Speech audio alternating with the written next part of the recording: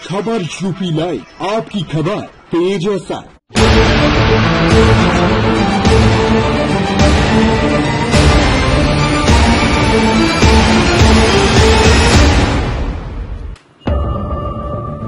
बस्ती सदर कोतवाली के कचहरी चौराहे और कोलकाता से दो शातिर नटवरलाल को पुलिस ने अरेस्ट किया है। इनके ऊपर 25-25 हज़ार का इनाम घोषित था। 2016 में बस्ती ज़िले के सैकड़ों लोगों को 15 से 16 करोड़ का चूना लगाकर फरार हो गए थे। पकड़े गए दोनों जालसाज विकास हवलदार और तन्मय मित्रा पश्चिम बंगाल के रहने वाले हैं। आपको बता दें, सदर कोतवाली में 2016 में धोखाधड़ी का मुकदमा दर्ज हुआ था।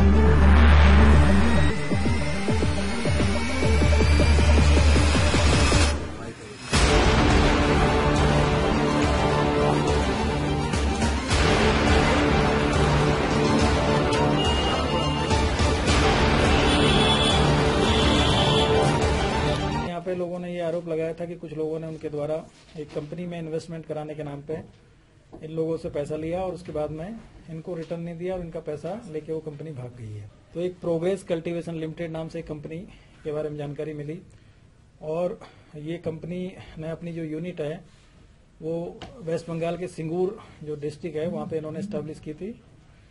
और तब से इसमें पुलिस लगातार इन लोगों की जाँच पड़ताल कर रही थी कि ये लोग कौन है और कहाँ पे है, लेकिन इनका कोई पता नहीं चल पा रहा था वो कंपनी अ, 2015 में ही ये कंपनी जो इसकी यूनिट थी उस पर सेबी ने रोक लगा दी थी और ये ताला लगा के ये लोग वहाँ से भाग गए थे।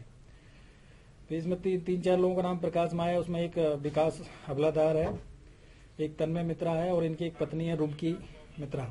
थी और इनसे जो पूछताछ की गई थी इनके द्वारा ये बताया गया था कि इनके द्वारा ये कंपनी 2009 में बनाई गई थी और इसकी कई ब्रांचें ऑल ओवर इंडिया इन्होंने खोली थी जिसमें बस्ती, गोरखपुर, संत कबीर नगर अंबेडकर नगर, अयोध्या, जो ये यूपी के डिस्ट्रिक्ट्स थे।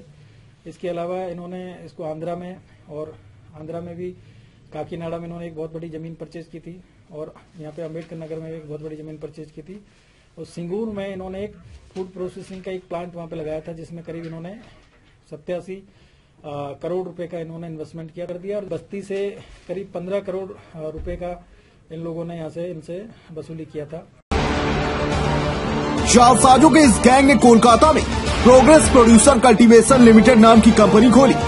पूरे देश में इसकी ब्रांच ऑफ़िस खोलकर लोगों को लोभ लुभावनी स्कीम का लालच देकर पैसा इन्वेस्ट कराया था।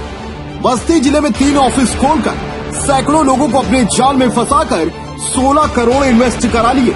लेकिन जब पैसा रिटर्न करने का समय आया तो कंपनी के ऑफ़िस को बंद करके फरार हो गए।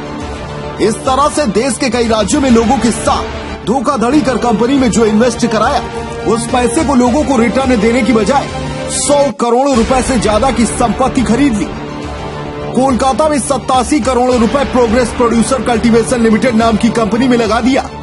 कंपनी के नाम कोलकाता में 10 करोड़ में 13 बीघा ज़मीन खरीद ली। यूपी के अंबेडकर नगर में ढाई करोड़ कीमत की आठ बीघा ज़मीन। इसके अलावा कोलकाता में 50 लाख की बेकरी की फैक्ट्री खोल दी।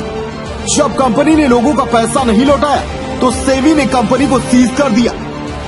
जिसके बाद से ये नटवर लाल फरार चल रहे थे। बहरहाल, अब ये नटवर लाल सलाखों के पीछे पहुँच गए हैं।